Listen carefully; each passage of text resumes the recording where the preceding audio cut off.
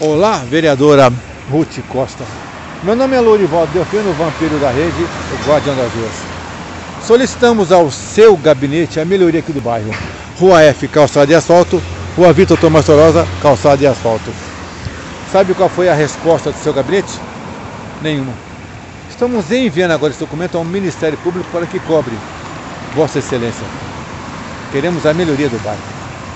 Pela proteção da fé, pela força da lei.